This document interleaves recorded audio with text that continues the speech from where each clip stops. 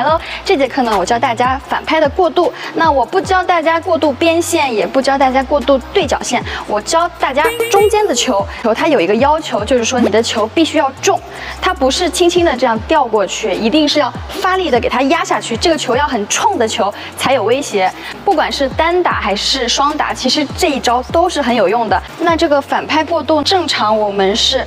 虎口对准拍框，但是过渡斜线的时候，我们需要拍面稍微的往里面移一点，可以进行一个包住它的角度。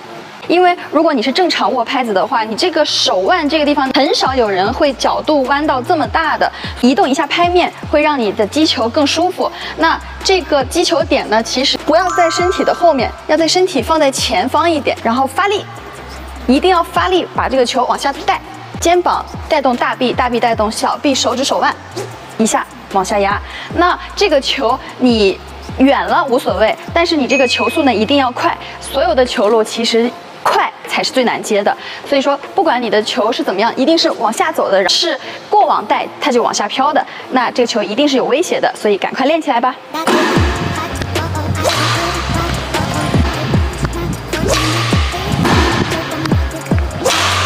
练好羽毛球，九九教你啊。